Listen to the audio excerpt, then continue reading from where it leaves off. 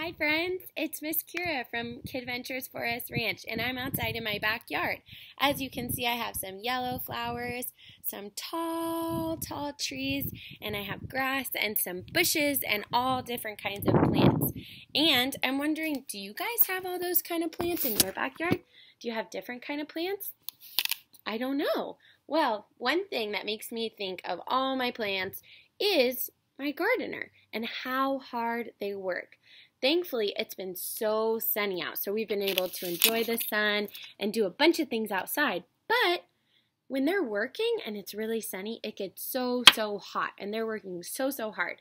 So, one way that we're able to say thank you to them and keep our distance and make them feel appreciated is by giving them some water because we all know when we're exercising or working hard outside in the sun, we need some water. So that's what we're going to be doing today. But I also wanted to show you guys if you can't see them or you can't get that close and you want to say thank you to them, this is how you say thank you in sign language. So you can wave your hands really big, you can leave this with them, and you can just say thank you.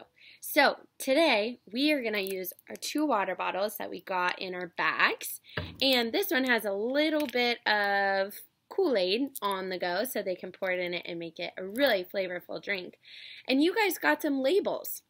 So I already drew on mine to save some time, but you're going to just write them some messages. So you can say thank you or stay safe and healthy or I hope you're having a great day or thank you so much, I appreciate you or ah, stay happy.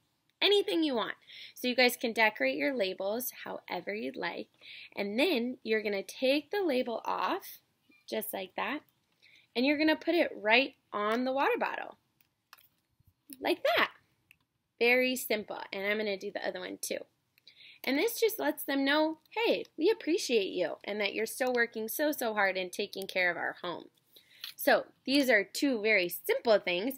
And like in our other video, you can also leave a thank you note. But this is a really, really nice way to give them a little pep in their step and to cheer them up and make them happy by giving them some water.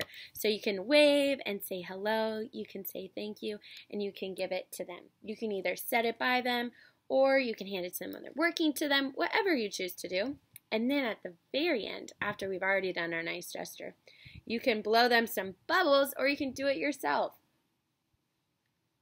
Just like that. I don't know if you guys can see, but these are the perfect bubbles. Wow, that was awesome. I hope you guys are staying happy and healthy and safe and doing so many fun things with your family. And I hope you guys choose to leave some water out for the people working on your home to make them feel happy and make their day. So I can't wait to see you guys soon. Thank you for watching. I can't wait